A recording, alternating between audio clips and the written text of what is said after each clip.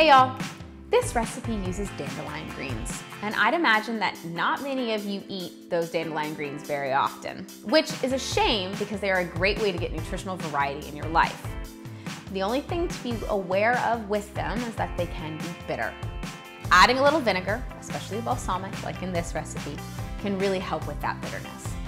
But also remember that bitter is a flavor that you can learn to like more and it typically indicates that there are helpful phytochemicals in the plant. So it's a good thing to try to incorporate more bitter veggies in your life. Let's cook.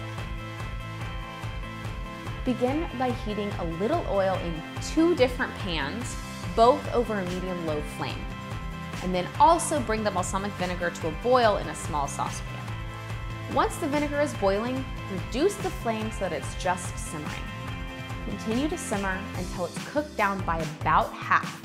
Then turn the flame down to very low to just keep it warm until ready to use. You could even turn the flame off.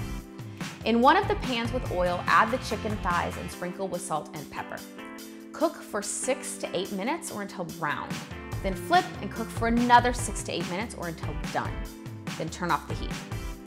While the chicken is cooking, add the onions to the other pan and cook for 10 minutes or until fragrant and beginning to turn golden. Next, add the garlic to the onions and cook for another minute. Then add the dandelion greens with some salt, cover, and cook until wilted to your liking.